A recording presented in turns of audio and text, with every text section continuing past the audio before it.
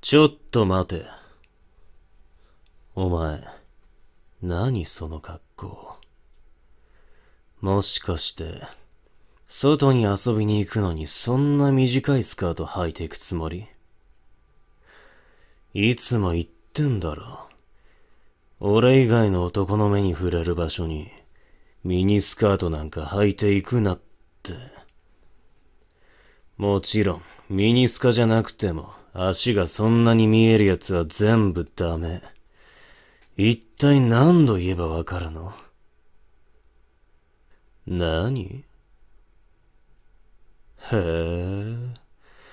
俺とのデートが嬉しくてつい履いちゃったんだ。ふーん。だから、それで言い訳したつもり？だったら、それを履くのは家から出ない日だけにして。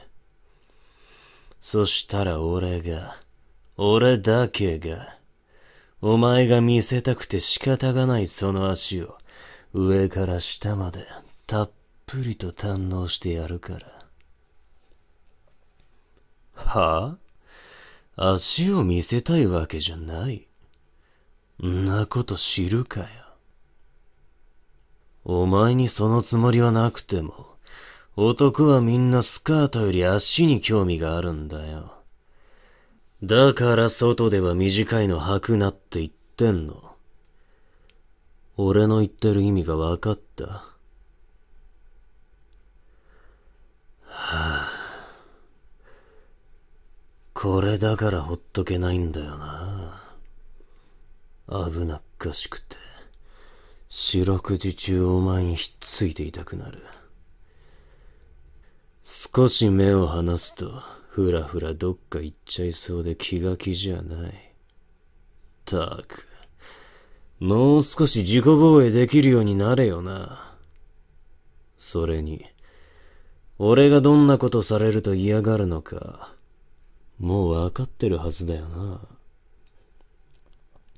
それとも、もう一度教育し直さないとダメ？もしかして、教育し直してほしくてわざとやってんの？だったら、今日は出かけるのはやめにして、このまま部屋でイチャイチャしようか。せっかくお前もそんな格好してくれたことだし、再教育してやるよ。ダメ。異論は認めない。もう一度、俺のすべてを、手取り足取り、ゆっくりと、丁寧に教え込んでやるから。覚悟しろよ。ほら、こっち来いよ。お前の居場所はここ。俺の腕の中だけ。お前のすべてを見ていいのも、俺だけ。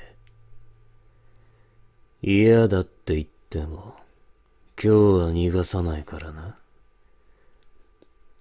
俺のスイッチを入れたのはお前なんだから。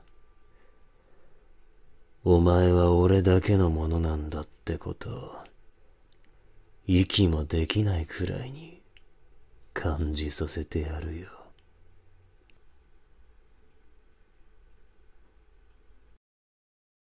動画見てくれてありがとう。ASMR 動画は毎週金土日曜日に投稿しています。気に入ってくれたらチャンネル登録してまた聞きに来てね。